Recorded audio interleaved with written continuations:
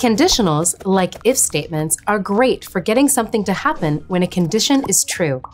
But what if the condition is false and we want something else to happen? That's when the if-else statement comes in handy.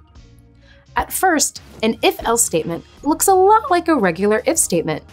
But by clicking the plus button down here, we can add another condition, the else.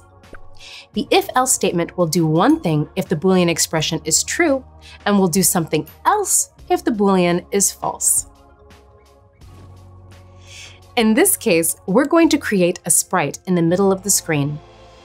Next, we'll add a draw function, followed by a white background.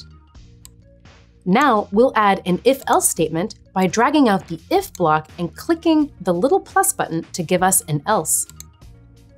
Let's give the conditional something to check, like whether the right arrow button is being pressed.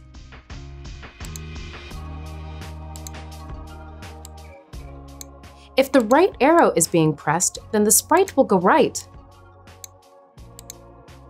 But if the right button isn't being pressed, then the Boolean will be false and the code in the else section will run.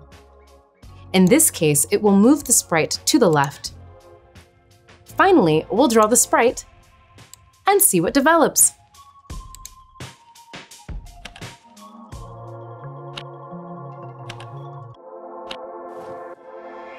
Now that you can use the else statement, your programs can perform twice as many actions and reactions as before.